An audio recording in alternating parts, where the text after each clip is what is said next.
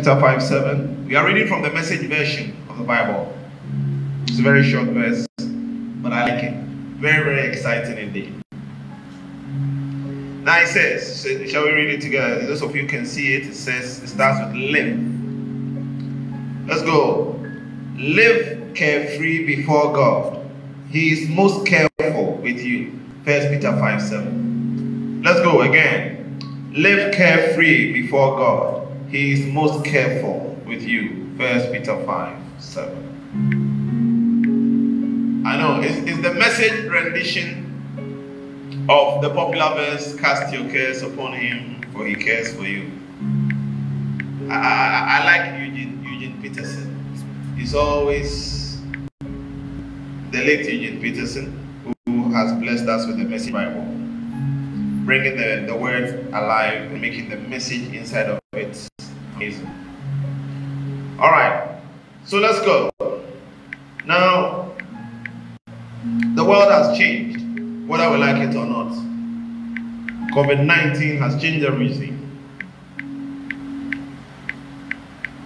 People have lost their jobs, people are dying. In Ghana, only by God's grace, people have died, but not that many compared to other countries. Some days ago, someone called me, one of our church members called me and said to me that now, when he slept, when he sleeps, he was always having panic attacks. For those of you who don't know, some of you have had it, you don't know that when you are there, you start becoming extremely afraid. And so, as we were talking and trying to dig into where the source of this thing is, one of the things we came to conclusion was that now this guy you know, some of you, if you are your, your, your family is in Ghana and everyone is in Ghana, you don't have a problem. But if you have some relatives elsewhere, especially, you know, even in the USA, many, many, many Ghanaians have died. And so someone, uh, these things, even in Ghana, we, we, when we are talking, we say only 10 people, only. But those 10 are family members, have family members. When they hear you say only, they are not very happy at all. And so for this guy, as we dug deeper and deeper into the issue, we realized that because his, he had very close family members, especially in New York, he was beginning to become afraid. That hey, the death, especially one close friend of the, the person who she, the family member, had died. He said, hey, what will happen? So each time he slept, he was having those extreme fear consuming him. Oh, but as we shared the word of God, and the following day I, I, I, I messaged him on WhatsApp and I asked him, hey, how, what, how, how was your night? These were his words and I quote, I slept like a baby. And I pray that as we share this, this word this morning, you will also come to the place of peace. Amen. So today, let's title our message Tomorrow, Tomorrow. Tomorrow, Tomorrow. Interesting. Now, what, what, is, what is tomorrow? when is tomorrow? Tomorrow is any time in the future that you have no idea about. So tomorrow can be the next second, the next second. It can be the next minute, it can be the next day, it can be the next week, anything that you don't know. Human beings, human beings have one great desire to want to know the future. Eh, we all have it. It's an innate something. You know, that's why in Leviticus chapter 19, verse 31, God Himself, in talking to the Israelites, says, Do not turn to mediums or seek out spiritists, for you will be defiled by them I am the Lord your God. You see, we as human beings, we want to be in control. If only we, I, you would think that it's only in Ghana that we consult these sort of malams and things to know the future. You know, last time I was walking around in Ghana here, somewhere in Test Road, I saw these guys that have these turbans on. They will go around and then they will say, "Hey, come, let me read your palms. and they were reading people's palms, and they will tell you.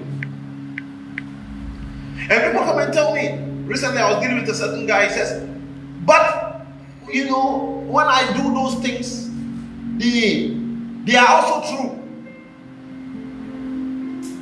You see, very very funny. Who told you that demons and spiritual forces and magicians don't also have a truth? Know the truth. Let me show you one truth that they know. They know that God is God. that is also true. Isn't that true? So they know some sort of truth. But they have limitations. Look at Daniel chapter 4, verse 7. In the book of Daniel, the Bible says that uh, from the verse 7 to 8, it says, When the magicians, now this is uh, the king had a dream and he wanted an interpretation. The Bible says that when the magicians, enchanters, and astrologers, diviners came, I told them the dream. This is the king talking. But they could not interpret it for me. The, the, the, the magician, they had a job. They had a job in the king's palace. Yet, they could not interpret this dream.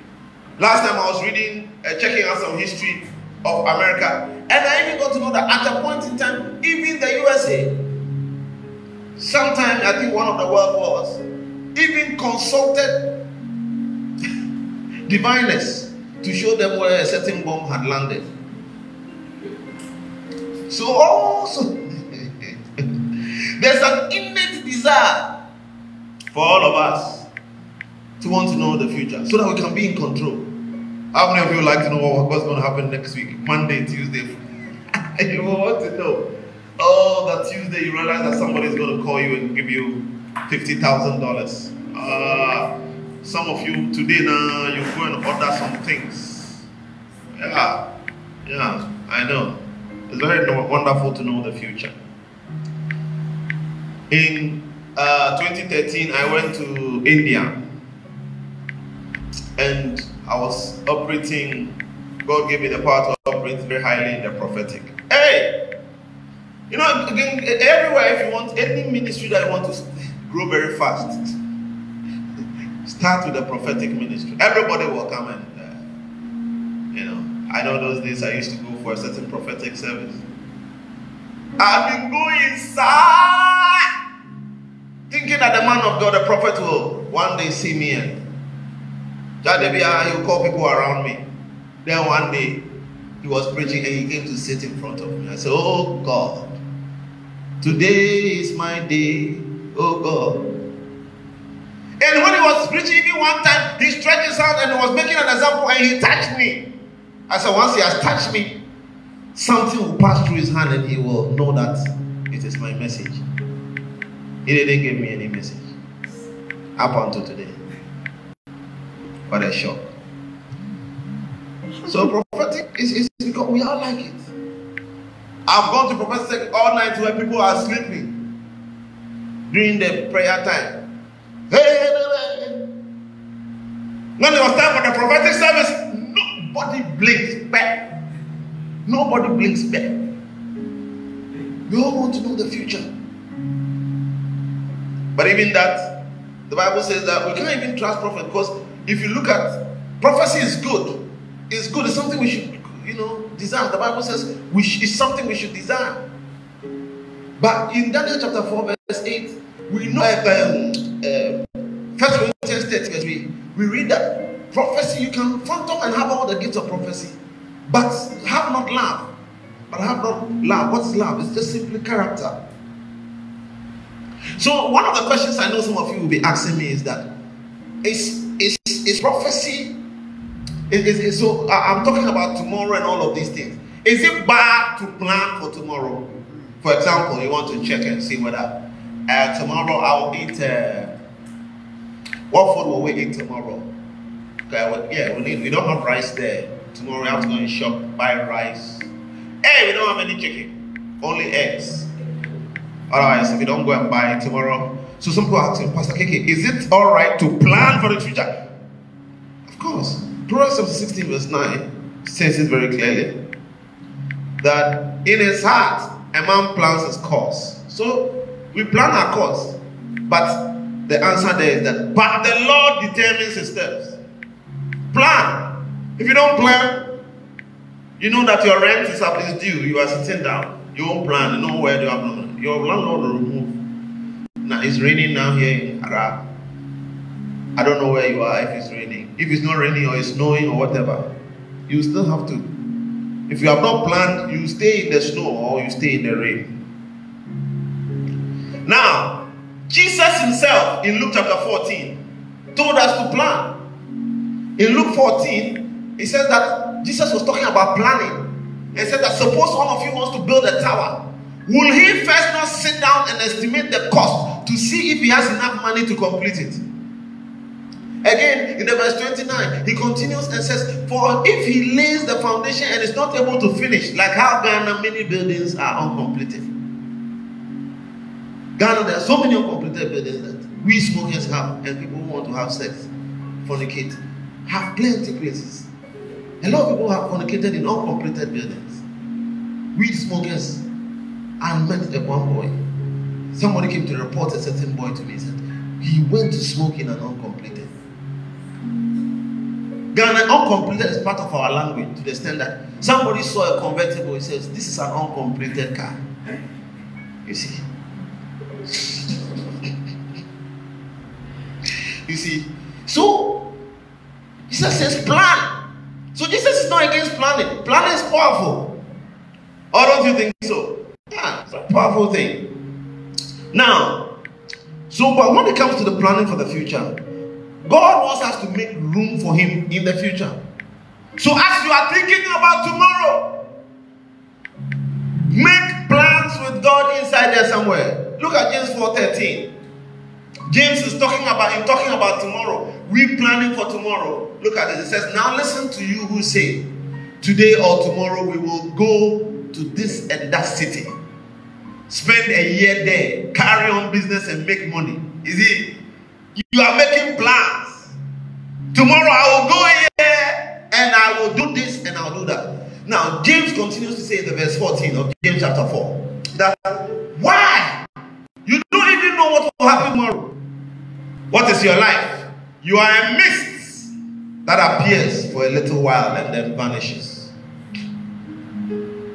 I was looking at a, a documentary of the video of a man one of the avowed atheists that ever lived in the in, the Western world. He's called Christopher Hitchens. Surprisingly, his name is even Christopher, lover of Christ.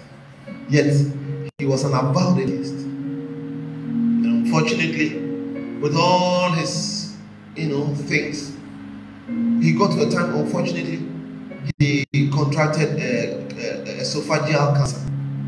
And he himself in his interview says, Life is so short. We are, we, we are but a breath. You are making all these plans. Tomorrow, tomorrow we shall. Very, very important. Now, so failure to involve God. Now, if you fail to involve God in your future plans, two things can happen. The first thing that can happen is that you can it can make you very proud.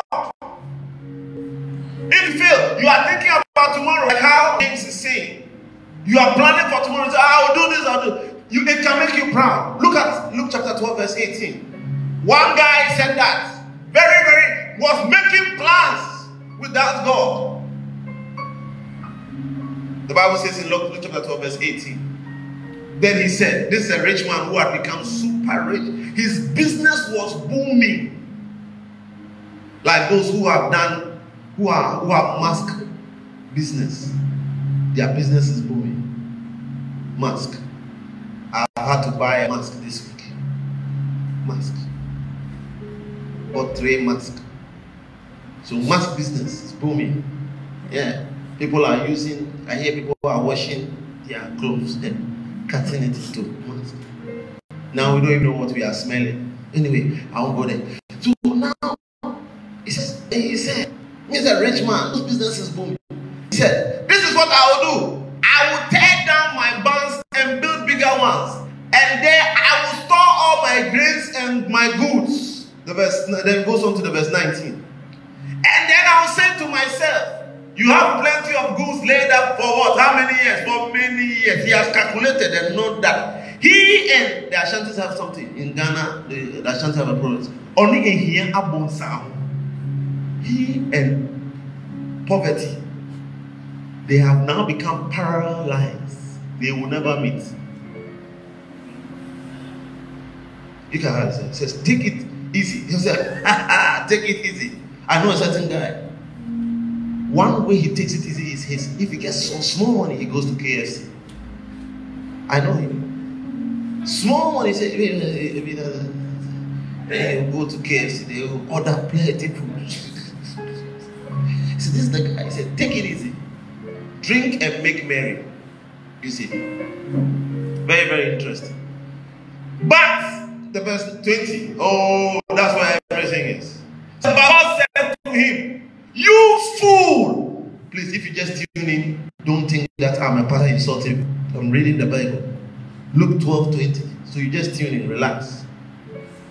But God said, listen to me, I didn't say it. God said, You fool! Say, Pastor, you are stressing that part. I'm not. There's an exclamation mark there in this Bible that. Exclamation, they, they taught you English.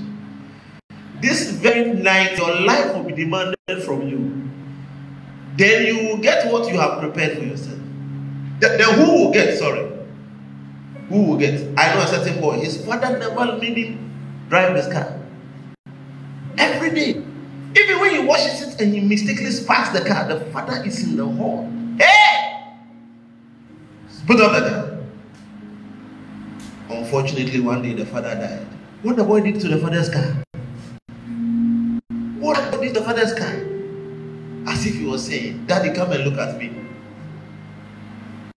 Dad, hear me. Anyway. So if you don't understand this is a tree language. Listen. So if you fail to make God put God in your future plans, you'll be proud. But you are making all these things, telling yourself, take life easy. But then again, the second thing that can happen if you fail to um, uh, uh, uh, um, put God in your future plans is that it will also make you very anxious. To make you anxious. Now, the um, in Luke chapter 12, verse 4, Jesus is talking to um, uh, his disciples and he says to them, I tell you, my friends, do not be afraid of those who can kill the body and, no, and, and can do no more. Then he goes on in verse 5 and says, But I will show you whom you should fear. Fear whom after killing the body has power to throw you into hell. Yes, I tell you, fear him. The verse they continues, the verse 6 says that. Are not five sparrows sold for two pennies? Yes, none of them. Not even one of them is forgotten by God. And he ends the verse 7 by saying that indeed the very hairs of your head are numbered. So don't be afraid. If you fail to involve God into the future, you realize that Fear will grip you. You are afraid. Hey, what if I go out right now and Corona is walking in the air and I kiss it? What if I'm going right now and then armed robbers go and catch me? There's so many things that can happen. Now, so God then advises us in, the, in His Word to have a strategic plan for tomorrow. And the way to plan strategically for tomorrow, according to God's word, is to, you know, put Jesus Christ into your future. Make room for God in your tomorrow plans. And so I'm going to give you three very powerful ways by which you can, or four, I can give you four. Four powerful ways by which you can employ God in your future or have God in your plans for the future. And so, in order for you to have make God part of your future plans or for your tomorrow, to prevent the anxiety I talked about or the pride, you need to do these things. The first thing you need to do is to ensure that, you see, a lot of the reason why we are so anxious about God, eh, about eh, the future, is that we don't have a relationship with God. Or we have a relationship with God. But the relationship is not tight. It's not tight the promises that are of God, you are unable to claim them because we and God are not tied. And one of the reasons that we, we and God are not tied is that we are always thinking, yes, we have done some very bad things. You have watched some pornography. You were bored. So you watch one or two us. Or it can be that you did some very, very bad things. You transferred some money you were not supposed to transfer. Or I don't know what you did. Yeah, it is very bad. What you did was very bad. But what do you do? Now you are thinking about the future and your heart is beating. So what do you do? You need to connect with God into the future. And I have here this scripture in first in Second Corinthians chapter 5, verse 8. He says that all this is from God, who has reconciled us to himself through Christ and gave us the ministry of reconciliation. God has reconciled you and I to himself. And said that this that God was reconciling the world to himself in Christ, verse 19. Not counting men's sins against them. God wants to have favor with you. God wants to enjoy you. Why are you pushing yourself away from God? Yes, you have done those horrible things, but God is calling you to come close. You see, in our relationship with God, it is not about us, it's about God. It's not about what we have done, it's about what God has done. This week I had a very interesting quote with uh, from uh, this man in Nigeria, Abel Damina, and I was sharing it with uh, uh, Valeria, and it's a very interesting one. He says, "Some of us are thinking that some people we some people we think are in hell. We will be surprised. We will go to heaven. They are there because God is a businessman. He won't send His Son Jesus Christ to come and die and allow everybody to fly off and fall. If you are a businessman, you have invested in a business. Which one will you be for? Will you be wanting the business to survive or you want the business to die? Some of you are sitting there feeling very far away from God and He's making you afraid of the future. If only you knew, if only you knew how much God to pull you to Himself. That's why business is every business when I did some small accounting, they wrote there, there's provision for debt, bad debt, provision for depreciation. They made all, all businesses make all this room because they know they want the thing to stand. So they put money aside so that when the thing is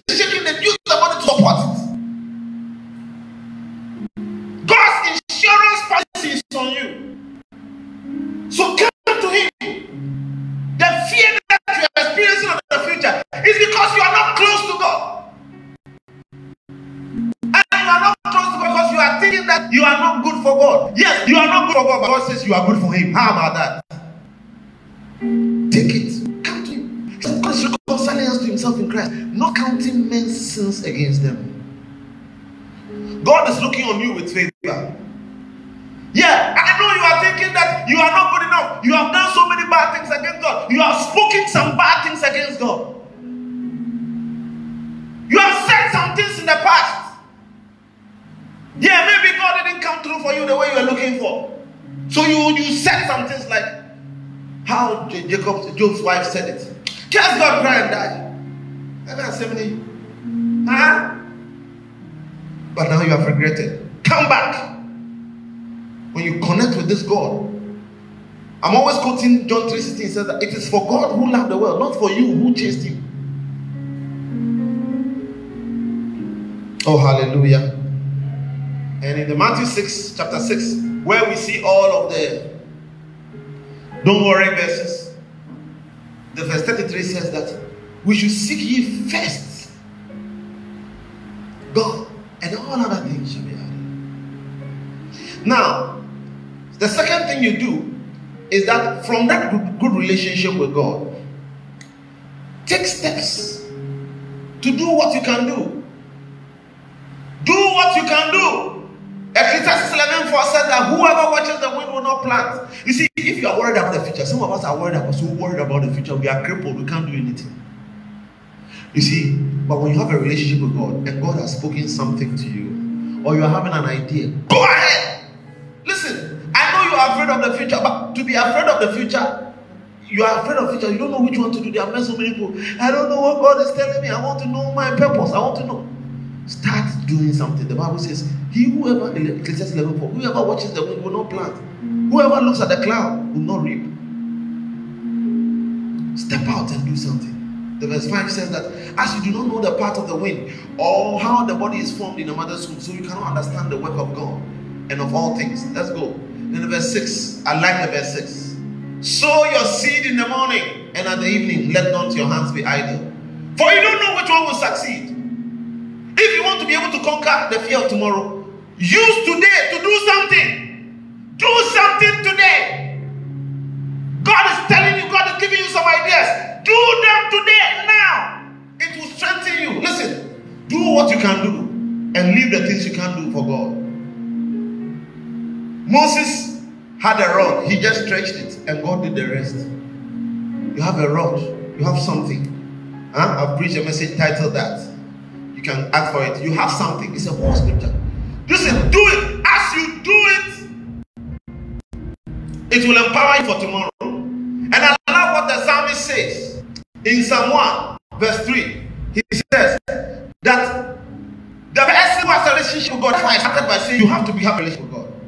Now, when you set yourself apart and you have the relationship with God, He said that you will be blessed, like you become like a, a tree planted by um, um, um, um, streams of water, which yields fruit in its season, and whose leaf does not wither. I like the last part. It says, "Whatever he does prospers." I see you prospering as you step out in faith to do what God is is giving you to do. When I look back on my life, I see as you see, don't be afraid of what will happen tomorrow. Today, do something. Because that thing you are doing will prosper. If only it's according to what God is telling you.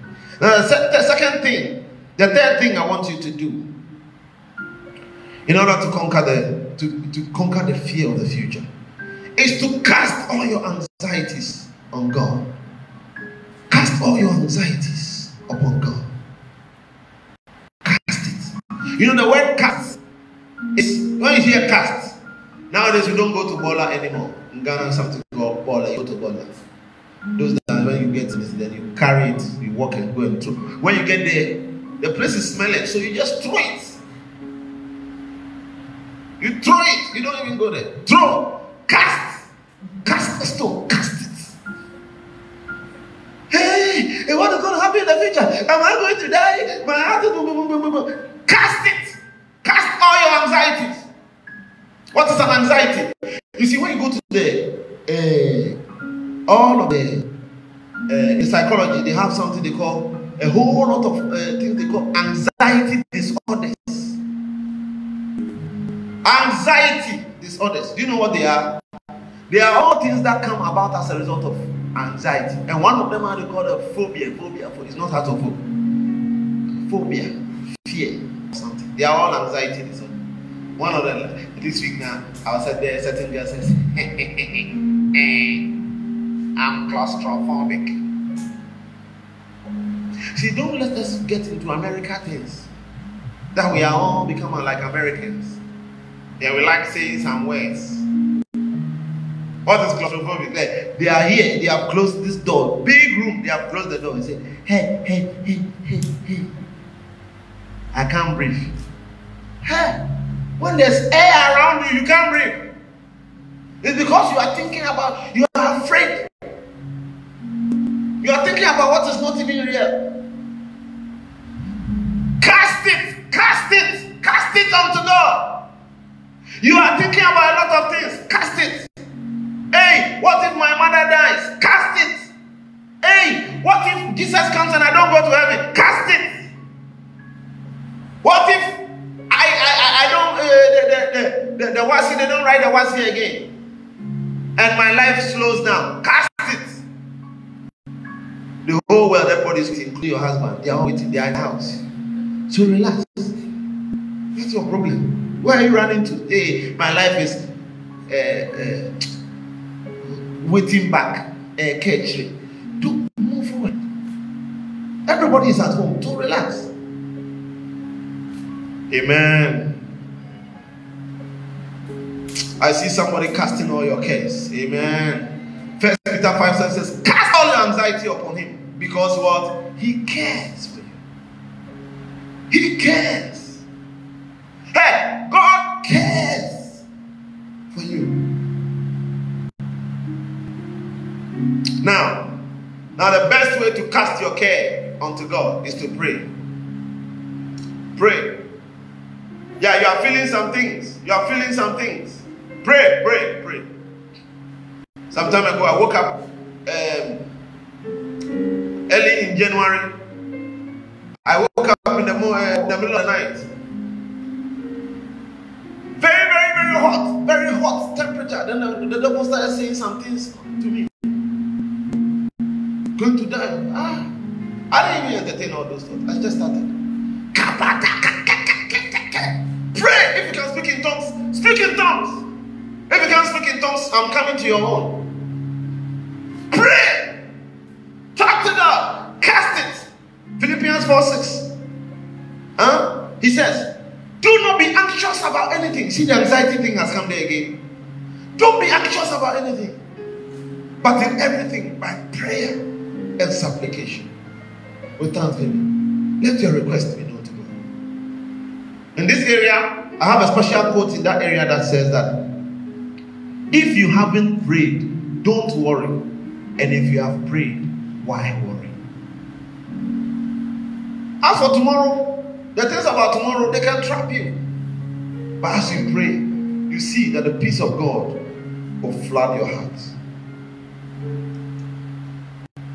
In praying, the Bible tells us in this same verse, Philippians 4 6, to do something. Hmm? The Philippians 4 6, it tells us to do something. It tells us of a certain way in which we should pray. And that's why I told you about those who can't speak in tongues. Even if you can speak in tongues, use this one. I preached a whole sermon about it, I think two years or so ago or last year. He says there, with by prayer and petition, with what? Thanksgiving. Do you know what thanksgiving will do to you? Thanksgiving will increase your faith. How will thanksgiving increase your faith? It will let you know that God has done it before. God has done it before. And if you know He has done it before, you are strengthened that He will do it again.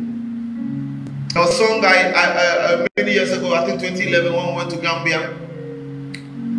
We, we, we, we learned it. Very, very interesting song. It says, God has done it again. He has done it again. Hallelujah.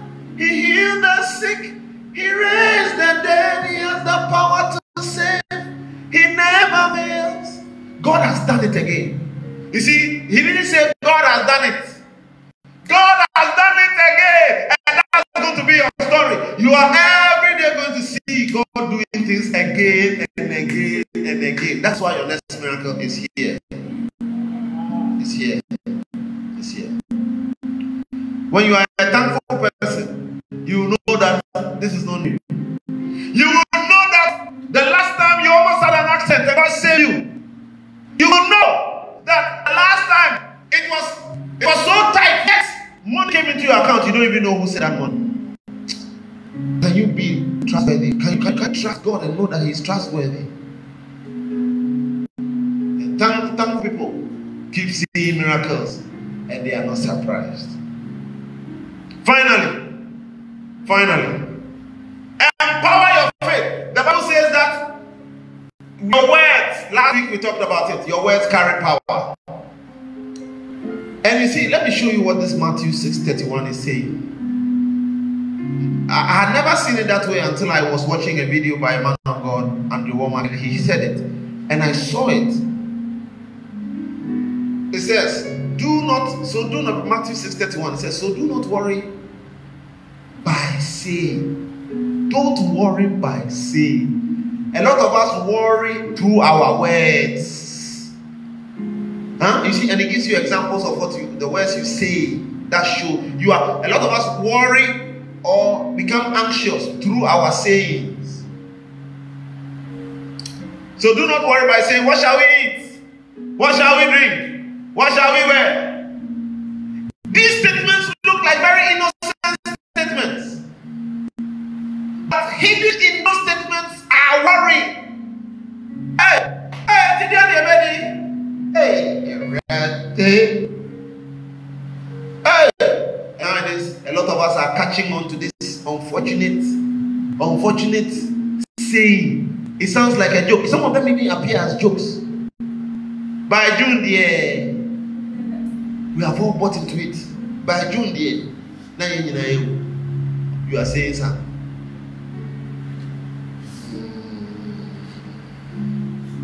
Nice. By June,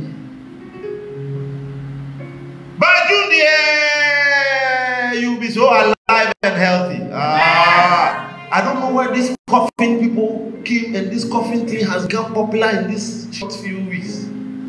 Now, coffins have become our toys. People have sat down. Somebody is even about to create. You are listening to me tomorrow. You have said that in a few minutes you are coming to create a video with that coffin. Change your mind. Repent. Repent from that coffin.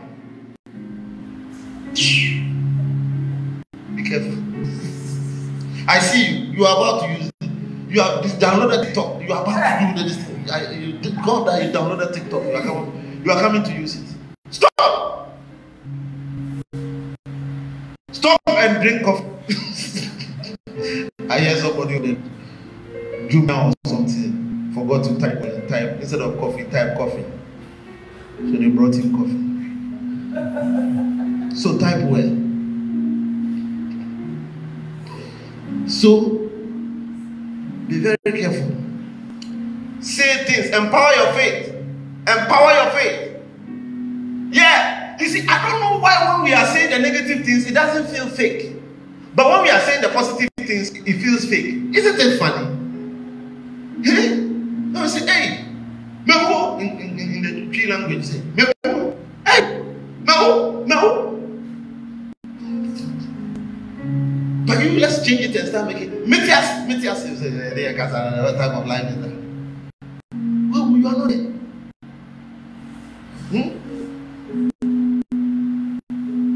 We are going to empower our faith. Amen. What else we say? Jesus himself says, Don't worry by saying. A lot of us worry by saying. Why don't we empower our faith with new words? And so, in our call to action, Jesus lives so I can also live. So I so I can